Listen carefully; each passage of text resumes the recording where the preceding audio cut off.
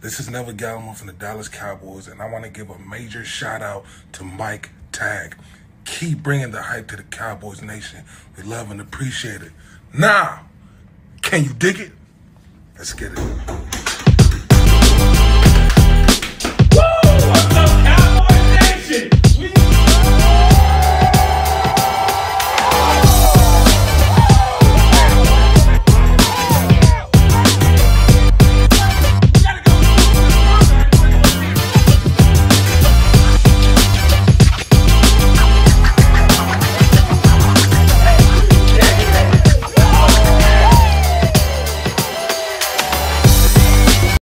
What is up? Welcome to another edition of Tag Nation.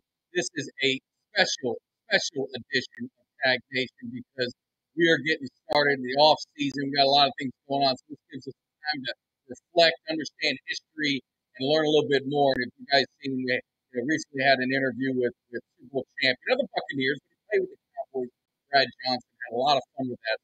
Make sure if you didn't see that, go to the YouTube page, like, subscribe because you don't want to miss any of it because we've got a lot of things going on with the channel with Jimmy D and with Kelly K9. We got we have a lot of fun. So, but I don't want to waste any time. We've got a special guest, and we're talking about a man who two-time Super Bowl champion, been to five Super Bowls. He never he never had a losing season with the Dallas Cowboys. Three-time Pro Bowler, two-time All Pro. He is just you know one of the legends of America's team and that is Mr. Charlie Waters. We got him on the phone. How you doing today, sir? Good morning, Mike. I'm I'm doing fine. Doing still kind of upright, you know. that's never that's never a bad thing. Yeah, great. Yeah. Considering well, the alternative. Oh, absolutely, no doubt about it. But uh, just wanted to jump in. Appreciate you, you know, being able to, to to enter the cave, as I like to always say. I'm a big Cowboys fan.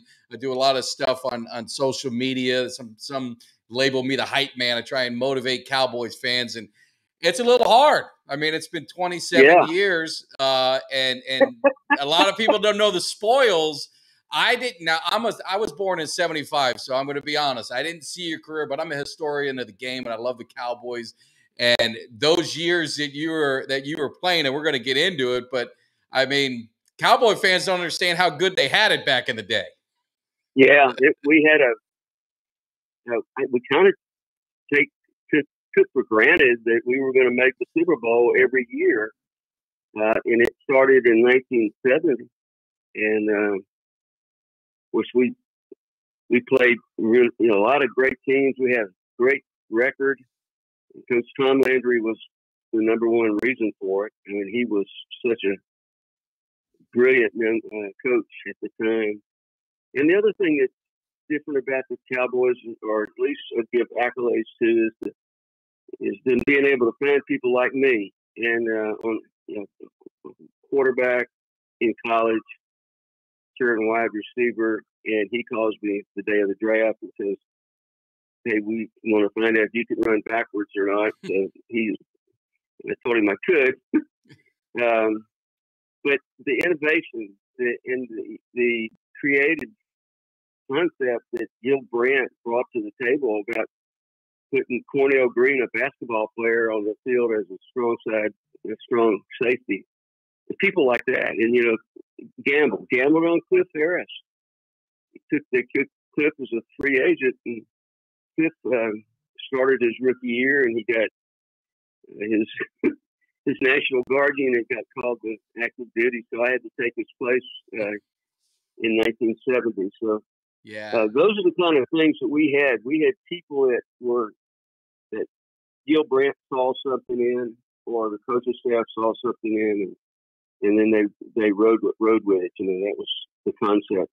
Yeah, and and you guys, I mean, just a special special team, and and it was interesting in the in the '60s. You know, during that time, you know, and then going into '70 Dallas always seemed to just come up short, and I, I, think that they always said next year's champion.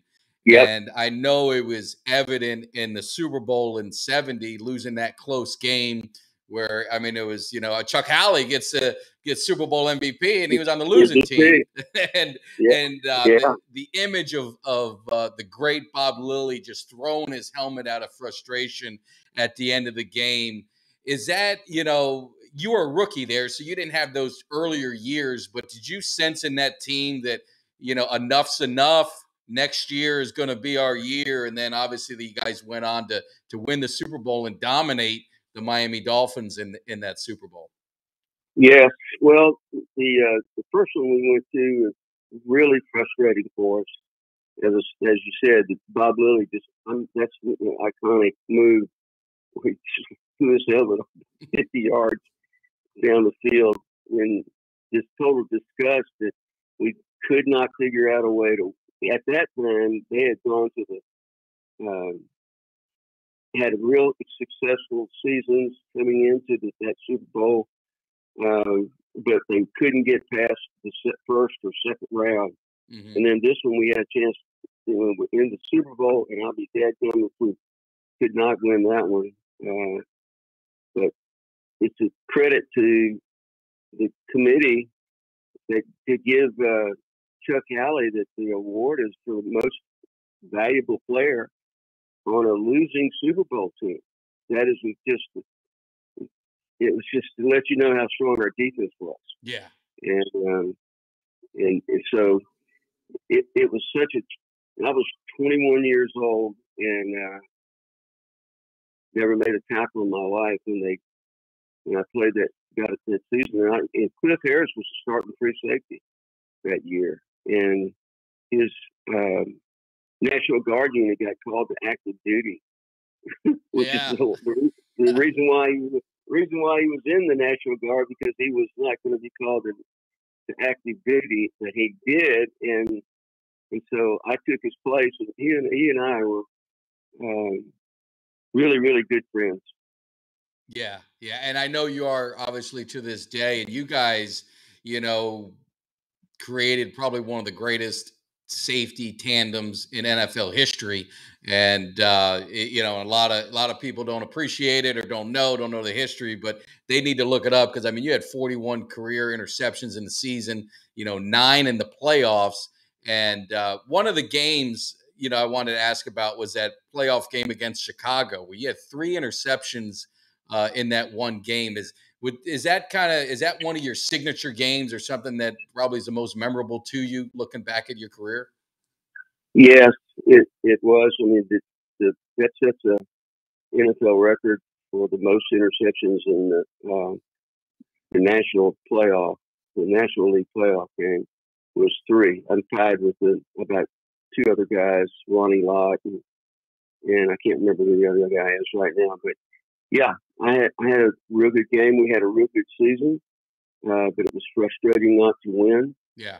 Uh, and, and, we never got complacent about um, about lo- losing. You know, again, making you know considerations as well. This is the reason why we lost, and we got to fix this. Well, Coach Landry went about it really, really strong. He he complimented us for when we did things right, but we needed to. There was such a coordinated defensive scheme. You know, he ran the flex defense, and, mm-hmm. and it's a it's a strange concept to play where two defensive linemen on the line of scrimmage are about two and a half yards off the ball, and, and there was they had to think too. I mean, Coach Landry, when he would draw up the uh, game plan and give you know, give us instructions where we're supposed to go.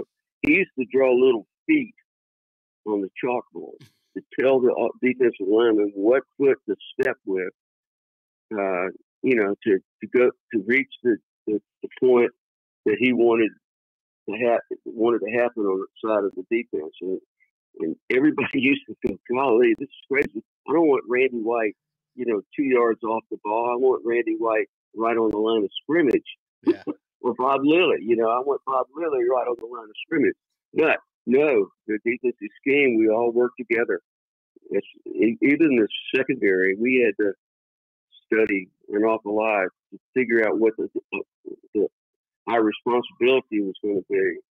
uh, in the flex defense. So I can't credit Coach Landry enough. He just was such a special coach. And of course, Gene Stallings was my coach, and I really thought off a lot of him too. He did yeah. a great job. Yeah, Gene Stallings was the coach at Alabama. I'm a Miami Hurricane fan. He broke my heart in the in the uh, in, the, in the national championship game uh, when we thought we were going to win, and Alabama came in and really really put it on us. But but you know, Coach Landry's just you know. It, it, it's such an iconic figure, obviously statue in front of the stadium, and and a lot of the, this generation really don't understand how great he was. And the I think they had like twenty, you guys, twenty two consecutive winning seasons. You know, the five Super Bowl appearances, coached twenty seven years plus, or I, don't, I may may be off on some of the years, but just he was the only coach I knew. And I remember as a kid when they made that change, and you know, and and they you know, oh, and they let Landry yeah. go. I wrote a letter I remember a little kid. I wrote a letter to to uh, to the owner Jerry, just so upset and mad, and and I know a lot of people in Dallas. It was just it, it was like uh, you know losing you know losing your father. He was so impactful on so many careers, and I've talked to so many different former players, and they all say the same. He had a tough. He kind of had that tough exterior, but he was probably one of the kindest, uh, compassionate uh, uh, people that that you could ever know. Yeah, um, one of the one of the things he used to say an awful lot is the more you know about offense, the better defensive player you're going to be. And uh, of course, I was an offensive player my whole life until I got to the NFL, so I knew a little bit more about what the quarterbacks were thinking and wide receivers. But uh, and that that helped me, you know, make the team my rookie year. And mm-hmm. but Coach Landry was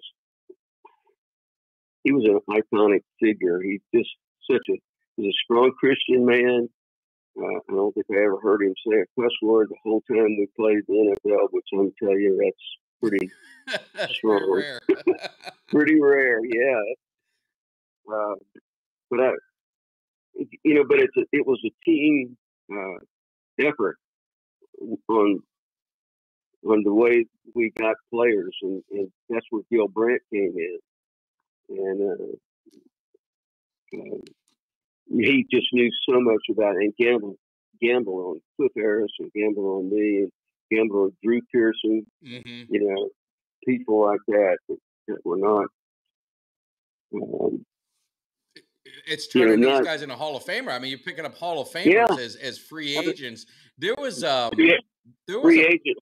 Go ahead. We've got plenty of them oh yeah, no, it, it, and they had that system. And Gil Brandt, I mean, obviously got in the Hall of Fame, and and, and just was an innovator and ahead of his time. You know, there was a there was a player. I I'm sure you know who he is, but he wasn't a big cowboy. He had one catch, and that one catch was in the Super Bowl um, uh, against Pittsburgh. It was his name was Percy Howard, and yes. I saw a story about him and he grew up in South Florida, and I grew up down there, and he went to Dillard High School, and that was kind of a rival school of mine when we were growing up. So it's funny. I reached out to him just to kind of you know take a shot. I just love those stories, and we sat and talked for for about an hour or two at a diner and just sharing stories. But he was another one of those guys where he was a basketball player, but he had amazing speed.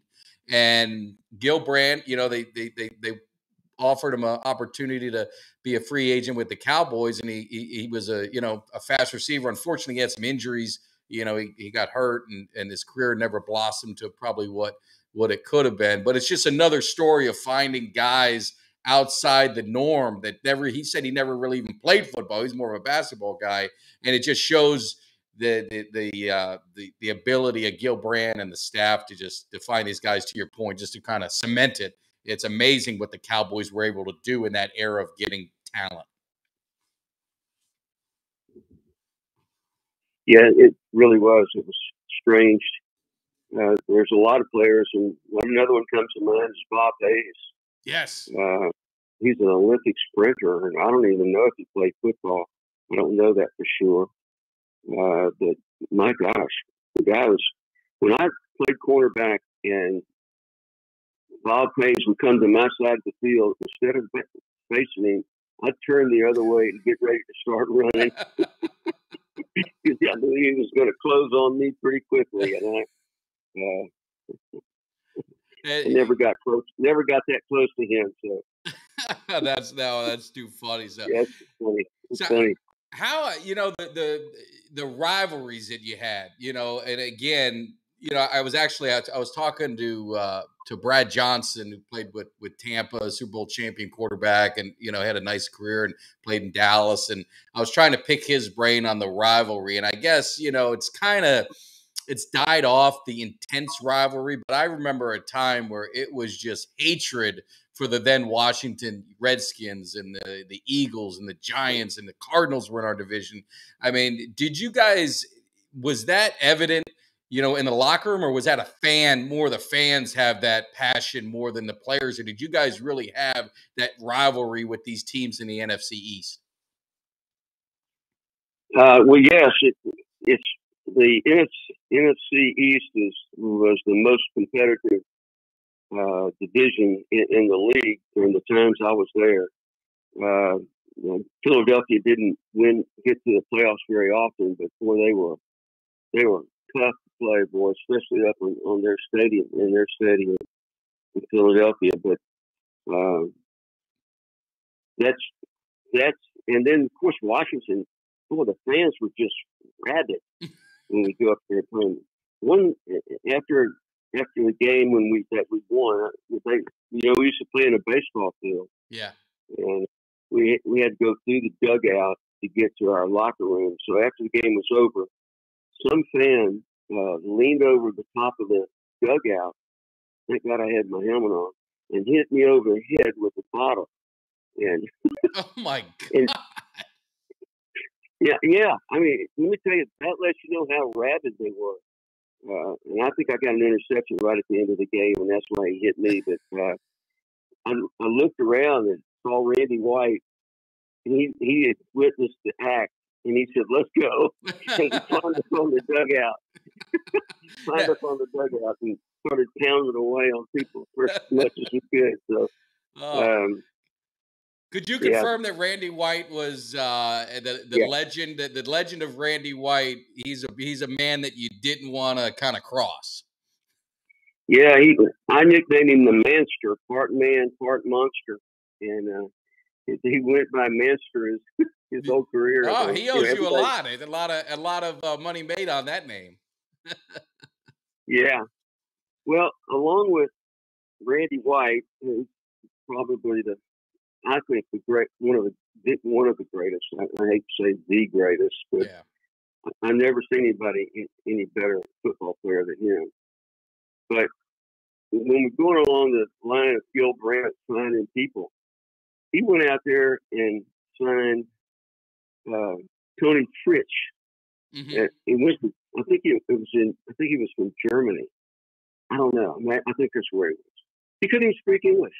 He said, "I kick you the touchdown." he could kick though. He could kick. He, oh yeah, I held for I held for the kickers, and he used to get, ask me all these things. Like, let me tell you a quick little story. Coach Landry was having a competition between kickers, and and he he he used to hold when he was uh, in the pros. Mm-hmm. And so he walked up to me and he said, "Look, I want you to put the ball straight up and down. I don't want you to lean it either, either way. I just want to know if everybody gets the same type of position of the ball, it'd be a, a more fair competition." I said, "Okay, coach." And and uh, so the first guy kick gets up there and kicks, and, and of course, you know, every time a guy kick, kicks, he walks up to the to the point of where I'm going to put it down, looks down, sees where the point is, and then goes back and is like two, two and a half to three yards back. And then they, he would nod his head, and then I would look to the center, and the center would snap it. Mm-hmm. Toni Fritsch walked up to the walked up to me when, when I was had my hand on the ground, let me know where I wanted to put it, and he says, "Lean it a little bit back, please, Charlie."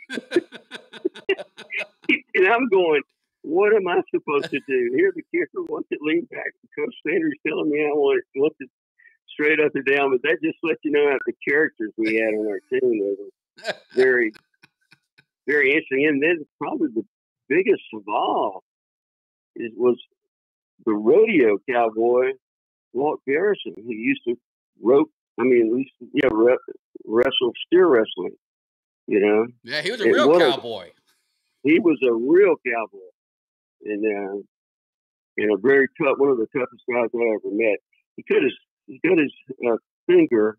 He used to whittle all the time, mm-hmm. and he was my he was my roommate uh, on the road for about a couple years. And uh, so Walt was whittling in the in the hotel room the night before we played San Francisco, and uh, I'll be damned if he didn't cut his thumb. And it was looked to me like now I'm probably exaggerating it because it just scared me to death. and there's blood spurting out, and it looked like his thumb was just hanging there. Oh. I had to call the team doctor. They came down there, they got him, took him out, and then they sewed his, they sewed him up that night. And uh, the next year, the next day, he caught like five to seven, five to seven passes.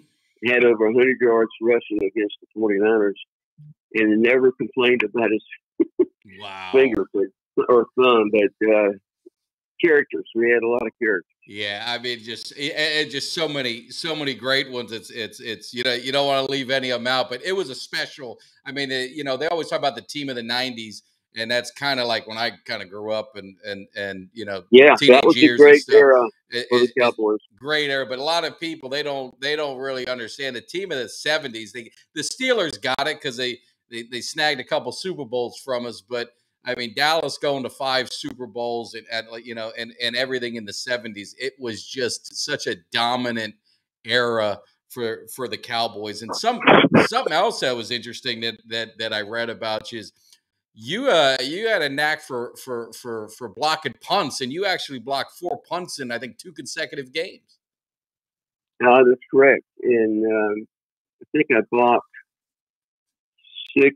It might have been eight punts blocked eight punts in my career. And there's a great statistic that goes along with that. Uh, the team that blocks a punt usually wins about 90 to 95 percent of the of the of the games. Wow!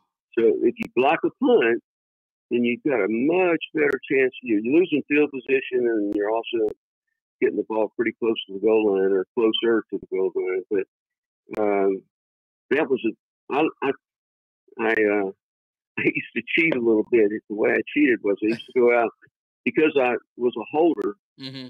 I, I knew the, the rhythm of the of the centers. So I'd go out with the center that, that snapped it back for the punt. So I used to go study before the kickoff. I'd go watch the guy that was snapping balls uh, for the for the kicker to do warm up drills. And I used to see as he, you know, they all are, are a uh, sense of rhythm and consistency exactly the same. Yeah. So I got a great jump off the ball because I knew what the centers were going to be like because, course, I held for the field goal kicker. So, uh, and that helped me. And, you know, the other thing that helped me an awful lot on blocking punts is Thomas Henderson on the inside and Randy White on the inside and Larry Cole on the inside, and they they definitely weren't going to let those guys through. So they kind of folded, closed in from the outside in, and then I came came from the outside and timed it. And, and Gene Stallings was I give I give him a lot of credit. He was our uh, special teams coach. That each each individual coach had had one side of the kicking game. And so Gene's job was the punt return team. Mm-hmm. And he taught me how to block the punt, which when you go in there and you got a shot at it, don't try to time it with your hands trying to slap it down. Just put your hands straight out. And the, I mean, and you don't have to time it up. It's a lot better. And, and uh, you know what? That was a great little bit of uh, knowledge that I used when uh, when I blocked the punch. as I said, I, I credit the guys inside because they were the they were the great athletes. Yeah. And Thomas Henderson, I've never seen anybody as athletic as Thomas was.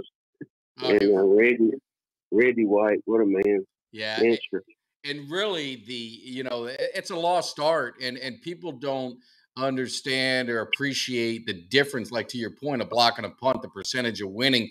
Everyone's with the offense, everyone's with the defense, but special teams changes games, whether it be a big kickoff yeah. return, punt return, block punt, block kick.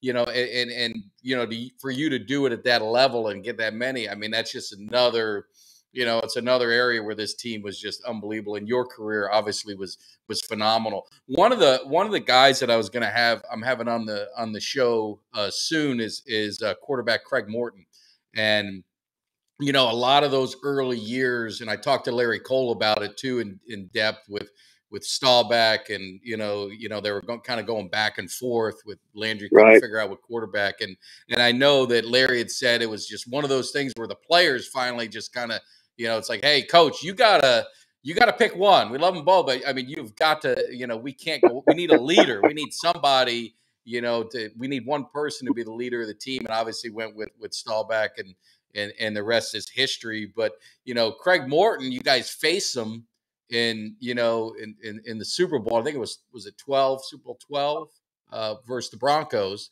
and um, yeah you know, a lot of turnovers, a lot of turnovers in that game. You guys made his life miserable, and you know, yeah. and that is your teammate. So is it like a brother where you want to really, you want to really, you know, hurt him, or is it, man, you started, you, you, feel bad because he's such a great guy and he was a teammate, and you, you know, is there a party that kind of felt bad during the game when it just was just uh, getting out of hand? Yeah, well, I never felt bad about winning. of course. And, uh, and, uh, but we we had we knew exactly what uh, the timing in which Craig went about his game, the timing of setting up and the distance and on the plays that, that are quick setup as relative to one that's a normal depth setup, uh, and the blocking scheme that they used. Uh, I got through there a couple times and got him got him sacked him. And, and one time I got him at the ball. I had, had his jersey.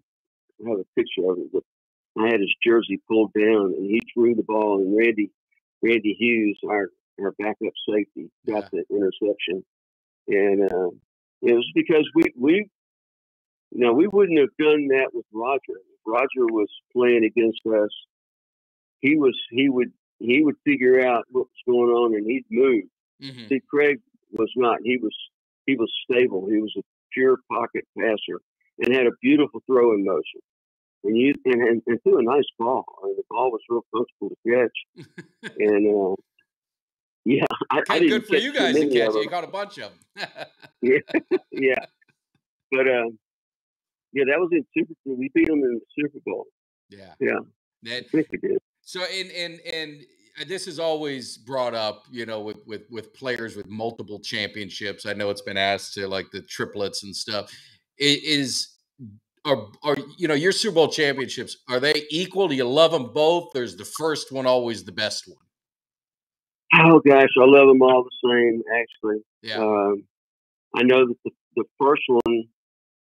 When I was the first two years in the league, uh, you know, I told you Cliff Harris got called up, and I had to start first in the first Super Bowl.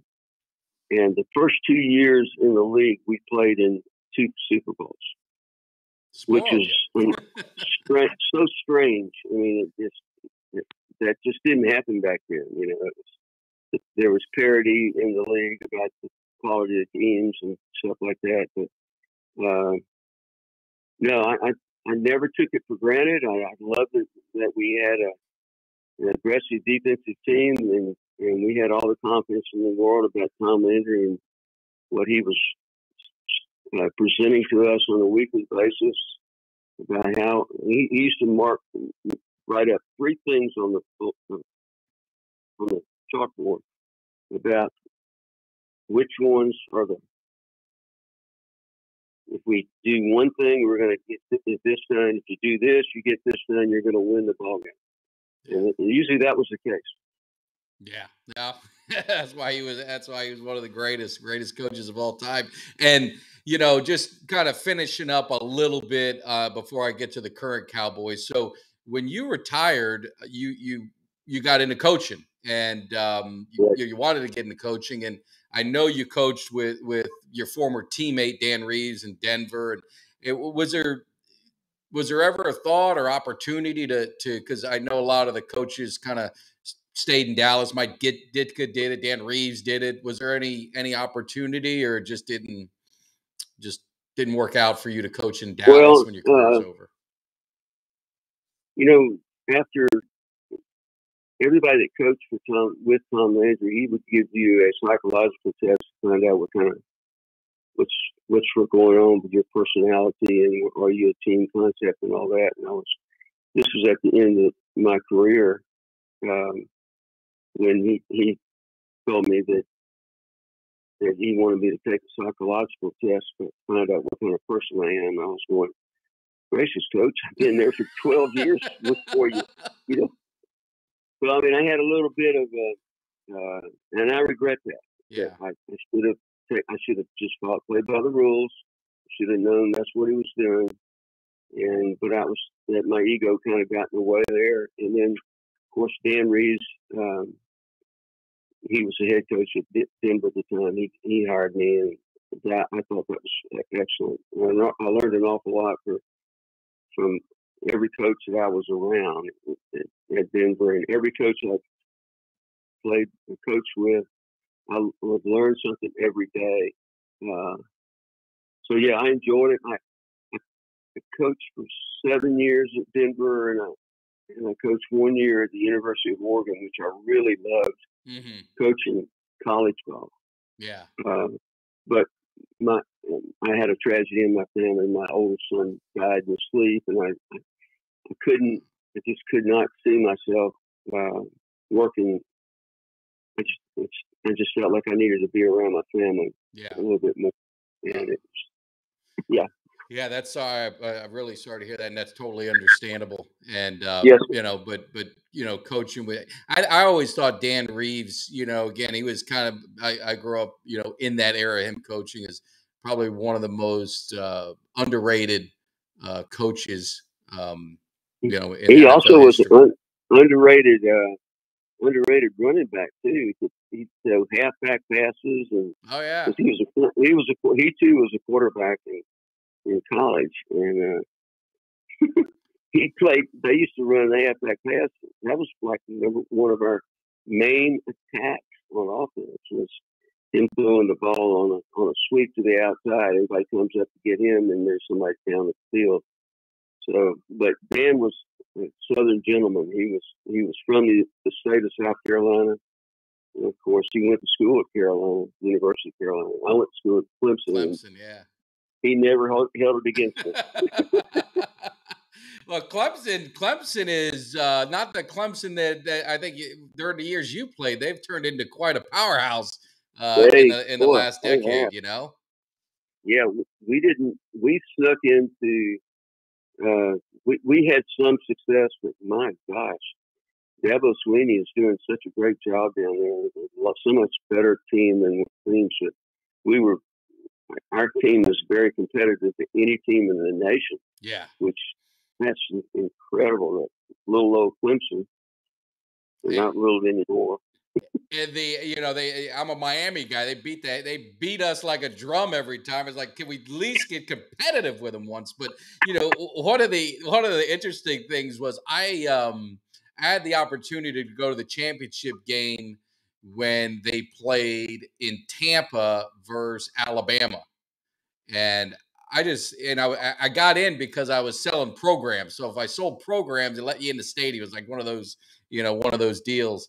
And the nicest fans I think I've ever seen. I haven't been to a game there, but everyone was just so friendly uh, that were Clemson fans. Every uh, and they had the two dollar bills, and I never understood the two dollar bill, but everything was paid with a two dollar bill. You know, with the Clemson logo stamped on it. That's how they bought all the programs.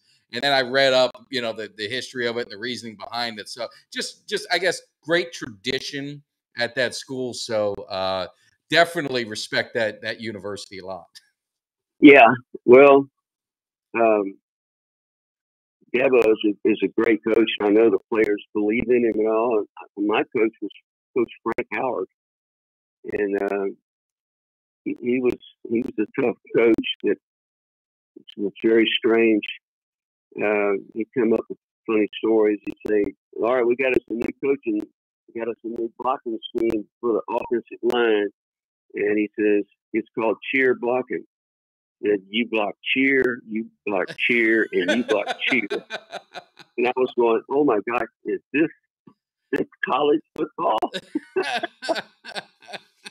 so that was a little example of what Princeton Howard was like. yeah. I wish I could have been around somebody like Dabo. Dabo's full of energy and very smart, very, very calculated on what what what he's doing. There's there's a method to the madness there, and, and there, it's showing. It's proven off.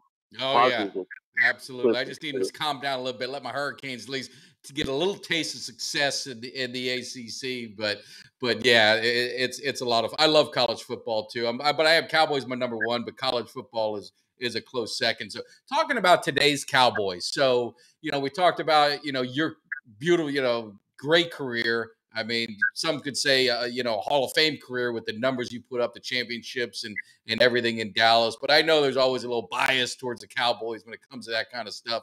I mean, we're we're still waiting on on some other guys to uh, to get in. But looking at this Cowboy team, it's been a long time. That's what I was saying. Is you're spoiled in the '70s. You guys in the in the playoffs every almost every year, and in the Super Bowl half half that decade. My son's 18. He doesn't know any success of, of Dallas to that level. Being a Cowboy fan, I'm almost starting to feel bad for him. I look at him sometimes. I said, "Look, man, I told you you had to be a fan until you're 18. If you want to change, I mean, I I, I can hardly blame you." But uh, what's your? I mean, what do you think is is just? Is there anything that that you could see that's just missing, or is it just bad luck, or is it? It just doesn't seem like they're able to, to get to that next uh, next next step. So there's so many variables that have to be uh, leaning in your favor to move forward uh, in a playoff game or move to the next level in the playoff games. And, and it's a mix of a lot of different things. Some of it's psychological, some of it's physical. Um, sometimes it's a coaching style, and sometimes just it's just pure luck and fate. Uh, but I, I, I do follow them, and I get disappointed when they lose. But I'm not I'm not in a position to figure out, uh, you know, what what they should be doing. Yeah. you know, if I got in there and studied everything that they how they do it and all that kind of stuff, uh, then then maybe I could, yeah, let's go do this, let's do this. But you know, yeah, and sometimes it's the media, right? You didn't have. I don't know if the media was yeah. big back then, so the media is constantly, constantly on the Cowboys. So I don't know if that does if that's a detriment to them. If it's because they're, I mean, they're not even in the Super Bowl, and they're still talked about. Uh, I mean, you go on ESPN and stuff; they're still talking about the Cowboys. Yeah. What's wrong with the Cowboys and, and this and that. So I don't know if the outside noise is just so much that it, like you said, it can get psychological if it's just you know it wears on you as a player. I, I mean, I've never been played at that level, so I don't know if you're able to zone that out. But with social media, with everything today, and all the eyes and everything, it, it's got to be unbearable uh, as a, as a player.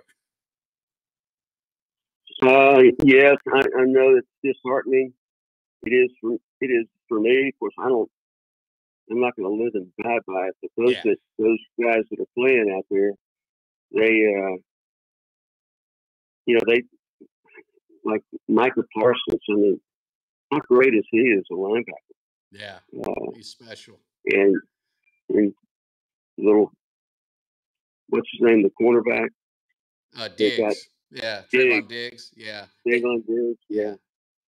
He's a great player. Yeah, and so, they've got the pieces, right? They're not far. I mean, it's just like I tell people, it's like far, don't. You're right. It, it, it's luck, right? It, like you said, a lot of it goes the right way. And, and Brad Johnson even says, like he's like Mike. He goes, you know, you got to think about it. There's only 34 quarterbacks that have won a Super Bowl in all the years. And, you know, how hard is it to be a quarterback, you know, because that's how the quarterbacks are judged.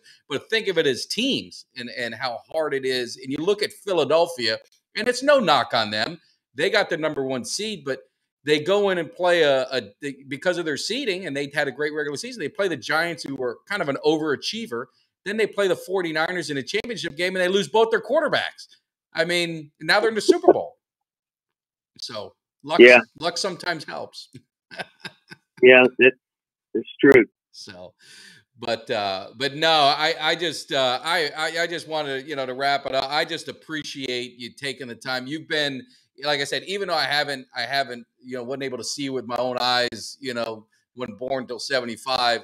I have an appreciation for your career and what you've meant to the Dallas Cowboys, and it's one of the things I try and do on on my show is is get former players. I love hearing the players that paved the way, the stories that paved the way for the players today, because I think you guys are the most unappreciated, you know, athletes in the NFL. And I've, I've, you know, I've talked to Doug Cosbie and Larry Cole and like some of the the fights that you guys have all done to make the NFL what it is today with the strikes and with all of that kind of stuff and the sacrifices and for free agency and for the, these guys to make, you know, the the money they're making today it's kind of disappointing to see the NFL, you know, and again, I could be wrong, but from what players have said and and what I've read, kind of not treat the the, the the players that paved that way with kind of the respect and and and appreciation that they deserve. So I always love getting you guys on to hear your stories and yeah find out well, about you. Thank you so much for having me. I, I enjoy looking back, uh, you know, on, on the years that I played, and, and it's it's it's fun yeah. to talk about it. Sometimes, sometimes I I see, still see Cliff Harris. Uh, he and I do a lot of things together, uh, and he came in as a free agent, and so he uh, he ended up being in the Hall of Fame, which is pretty good for a free agent. oh, absolutely, absolutely, and and I think is um is uh is Chuck Howley? Chuck Howley should be in. He's in. He's in the Hall of oh, Fame. he's in, yeah. He got in in the 2000. I thought there was another player that that was on the list this year. That you know the one that surprises me, and and you've played with him, so you can tell me. I'm just really surprised Ed Too Tall Jones um, is yeah. in the Hall of Fame, and and really he's not even in the Ring of Honor uh, for the yeah. Cowboys, which was really surprising to me. Yeah, Ed. Uh, fortunately for him, that he was playing next to people like Randy, like Randy White and Larry Cole. Yeah.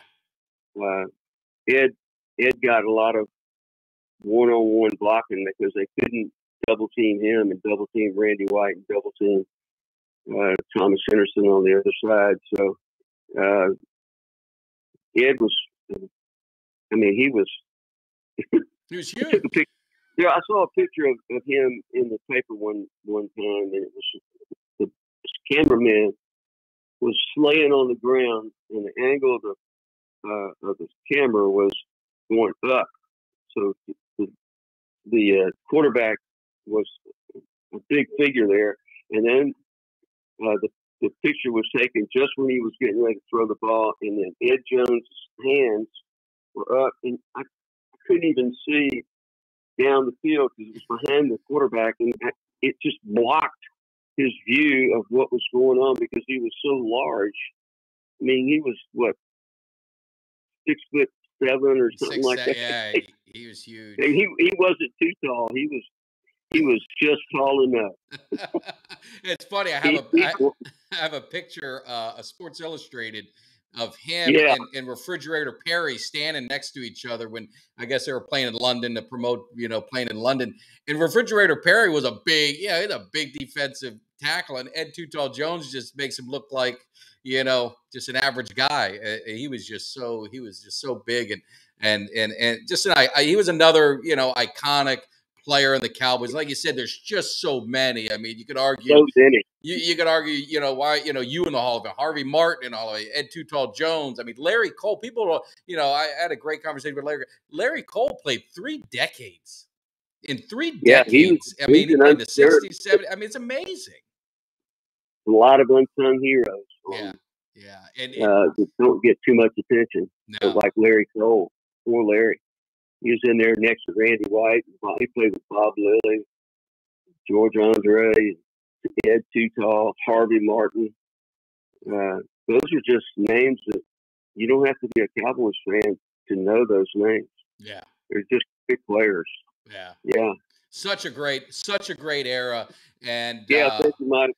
No, I appreciate it. Thank you so much, Mr. Waters, for coming on and and sharing sure. some stories. It was a it was a it was truly an honor, and I wish you, your family, you know, all the best. Hopefully, you know, everything is is going well, and you're keeping up with the Cowboys and enjoying retirement, and you know, having a, having, having a nice time. Enjoy yourself. But I appreciate you coming into the cave, and thank you so much. Yes, sir. Thanks for having me. All righty. Take care. All right, that was the interview with Cowboys legend, Mr. Charlie Waters, two-time Super Bowl champion, and just the stories. I mean, I got to talk to him for two hours, but you know, you know how it goes. You only got so much time, and and and uh, you try and get to so much in a career. You know, it's twelve-year career, like I said, three Pro Bowls, All Pro. I mean, if you haven't looked it up, just look up at that safety tandem between him and Cliff Harris. I mean, it was it was something. And like you said, I mean, undrafted free agent. You know, Charlie Waters was a third round draft pick, but he was a quarterback and receiver in college. They converted him to cornerback, and then they made the he made the transition to safety.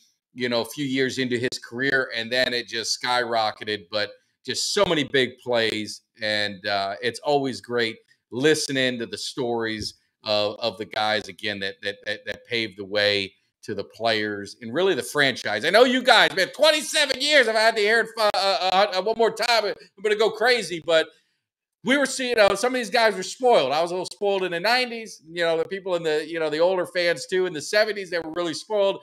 You know, the, my son's generation lives in misery because they haven't gotten the Super Bowl. But I think this team is close. So just uh, don't give up on them. I think what happened this year is going to be one of those that that that that elevate them because they're they're right there, and you're seeing some of the changes. And we're going to talk. You know, we always talk a lot about it on our shows, so make sure you tune in live Monday with my man Jimmy D. We talk a lot of sports. It's not just Cowboys. It's mostly all sports. And then Kelly Canine and I, you know, we hit it up all Cowboy style live on Thursday nights. Great interviews. Just recently did an interview with two-time Super Bowl champion Brad Johnson. If you missed that, check it out. There's a there's a playlist uh, that you'll see. I think it's Beyond the Star on on YouTube, and you'll see all the player interviews. And I'm just telling you, it listen to these stories and listen to the, the journey that some of these guys had and the accomplishments. Uh, it is just something that that I love it. I love it. I don't know if you guys do, but I love it. And if you do love it, make sure you like, make sure you subscribe because we've got so much going on. And like I always say, man, we're, we're we are just getting this party started. So I appreciate the support. You guys have a great one, and I will see you on the next one. Peace out. Gonna handle that business. We gotta get hype. Can you feel me? Now, can you dig it?